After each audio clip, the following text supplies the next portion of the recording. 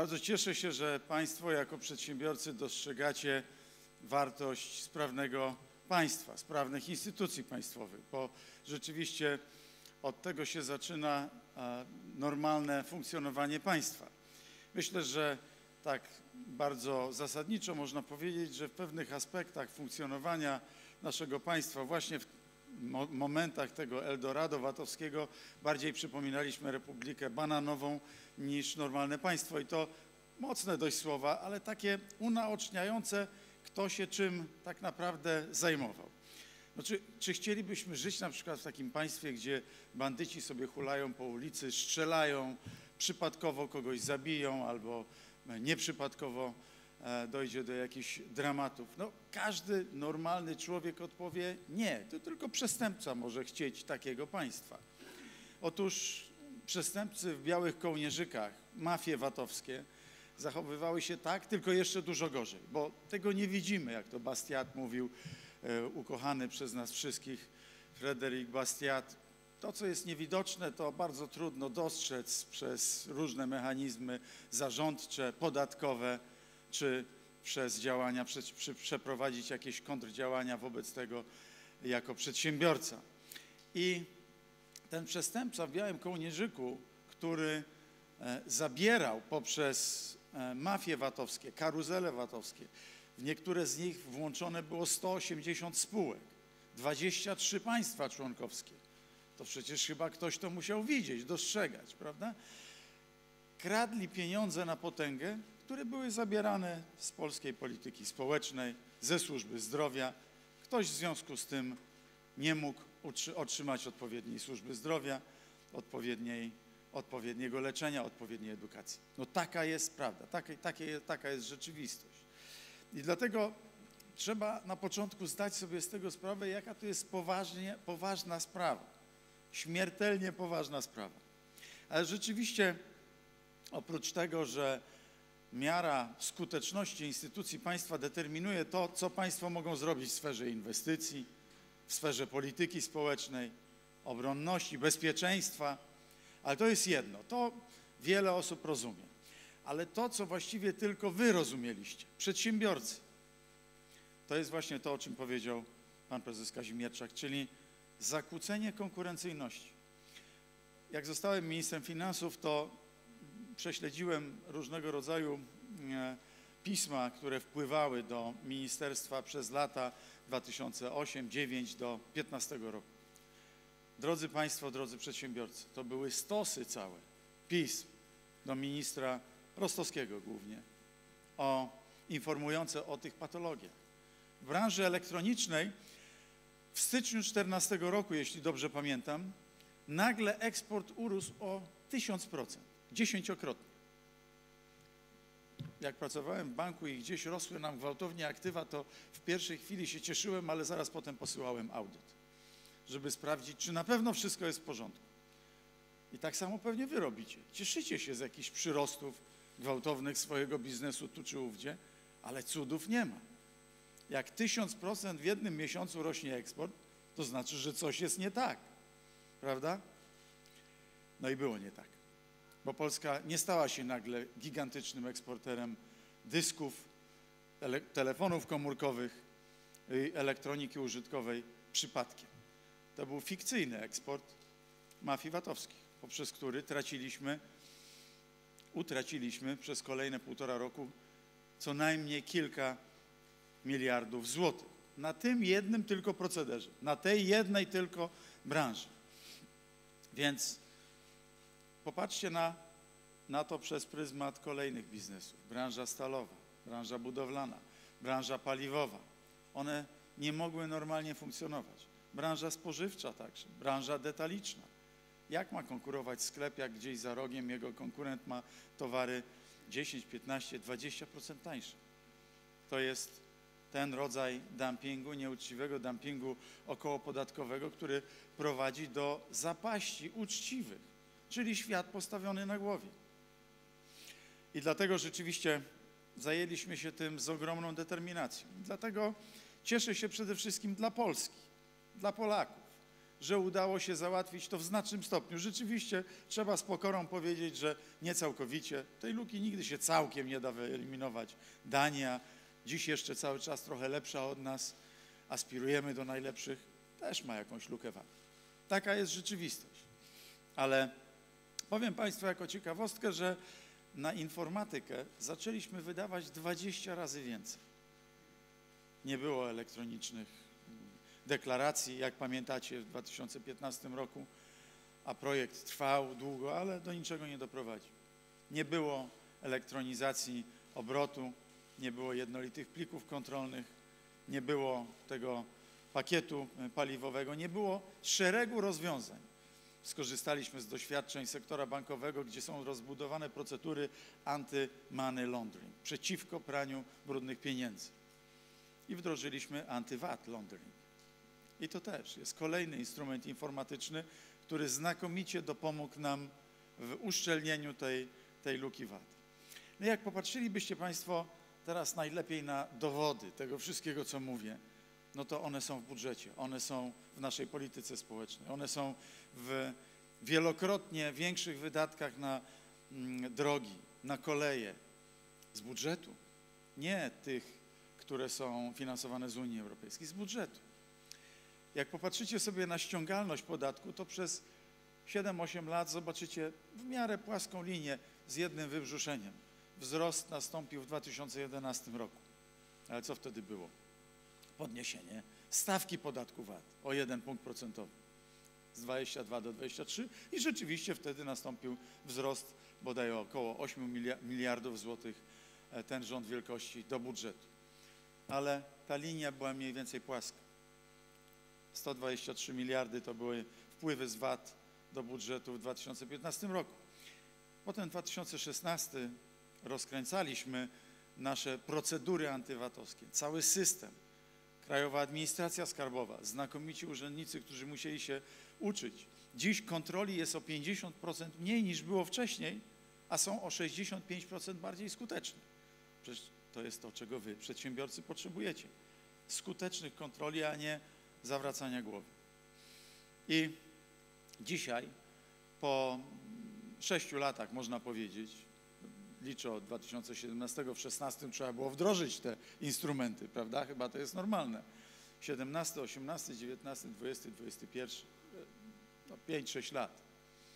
Będzie powyżej 210 miliardów, czyli ze 123 na około 213, o 100 miliardów więcej. Szanowni Państwo, to jest rewolucja. To jest prawdziwa praprzyczyna tego mikrocudu gospodarczego, jak patrzą na to nasi partnerzy z Zachodu, jak nasz, jeden z naszych przyjacieli komisarzy, bo mamy też takich, mówi, że Polska jest lokomotywą gospodarczą, że tu jest cud gospodarczy. Nie przesadzałbym, wolałbym jeszcze wyższe wzrosty gospodarcze niż mamy, ale cieszę się, że poprzez domknięcie, domykanie luki VAT. Po pierwsze, znakomicie poprawiliśmy możliwości polityki społecznej i inwestycyjnej państwa. Zwróćcie uwagę na to, jakich inwestycji dokonujemy my i wspieramy samorządy w ich inwestycjach w, ogromnym, w ogromnych rozmiarach. Ale jednocześnie, jakie możliwości pojawiły się przed polityką społeczną państwa, a to także zwiększa konsumpcję. A konsumpcja i inwestycje to są dla Was możliwości prowadzenia biznesu. Państwo, Związek Przedsiębiorców, Pracodawców, reprezentujecie małe i średnie przedsiębiorstwa przede wszystkim, polskie przedsiębiorstwa. To dla Was przede wszystkim, przede wszystkim jest budowany wysoki poziom konsumpcji, mocna konsumpcja, bo to dzięki temu w sklepach nie muszą się odbywać te zakupy na zeszyt. Dzięki temu gospodarka się lepiej kręci. Dzięki temu więcej możecie wyinwestować. Dzięki temu budujemy mechanizmy proeksportowe. To jest ten mechanizm naczyń połączonych.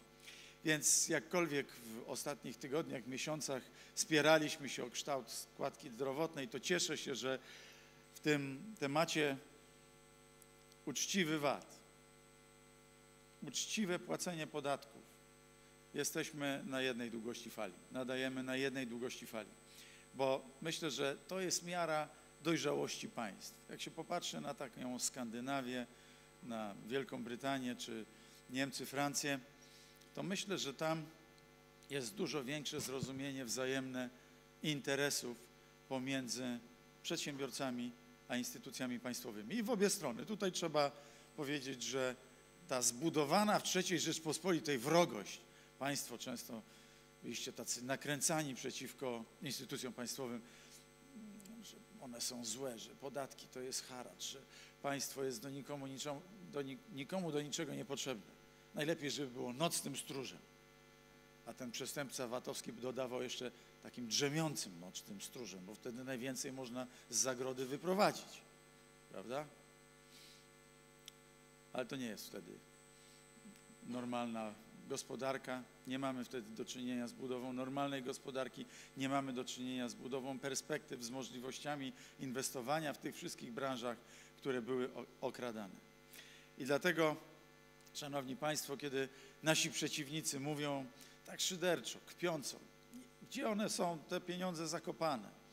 To nie, niemożliwe jest, żebyście zdobyli te pieniądze, ponieważ nic nie dało się zrobić. Prześledźcie sobie te wypowiedzi. To jest ta niefrasobliwość, przyzwolenie na patologię, która charakteryzuje właśnie słabe państwa, bananowe republiki. Nic się nie da zrobić. Przestępcy, bandyci, no trudno.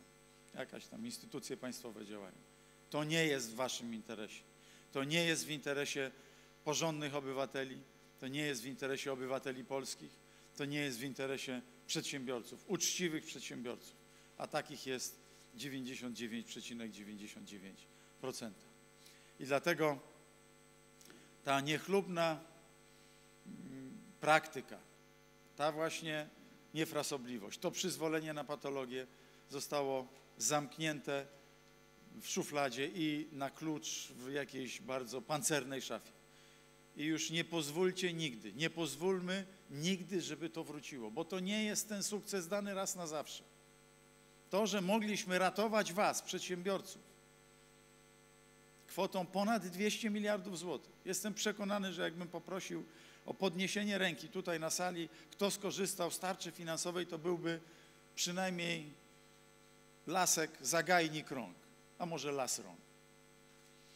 Bo to było możliwe dzięki temu, że uszczelniliśmy podatki, że uszczelniliśmy właśnie podatek VAT w pierwszej kolejności. I, te, I to wykorzystaliśmy jako siłę finansową państwa polskiego do uratowania wielu przedsiębiorców. Setek tysięcy przedsiębiorców, milionów miejsc pracy. Jako ciekawostkę też jeszcze podam Państwu jedną rzecz. W czasach naszych poprzedników ten wielki, słynny program budowy dróg krajowych i autostrad. Wszyscy wiemy o nim, powstają dzięki niemu fajne, dobre, szybkie, komfortowe drogi. On był mniej więcej skonstruowany 70, 30, 70% to środki krajowe. Przepraszam, 70% były środki unijne. Unijne, 30% mniej więcej środki krajowe. Dzisiaj mamy program na 300 miliardów złotych. Trzykrotnie większy niż ten, z którym nas zostawili nasi poprzednicy. I 80% z tego programu to są środki krajowe, budżetu państwa polskiego, z VAT-u. Chyba nic dodać, nic ująć. Chyba najlepiej poprzez to widać, jak sprawność funkcjonowania instytucji państwowych, aparatu państwowego przekłada się na możliwości przedsiębiorców, lepszą infrastrukturę gminną, powiatową, autostrady, eski, drogi krajowe, wiadukty, mosty, linie kolejowe, ale także infrastrukturę społeczną, szpitale, szkoły, instytucje społeczne, ale także jak się przekłada na cały kształt gospodarki na większe możliwości eksportowe, większe możliwości inwestycyjne.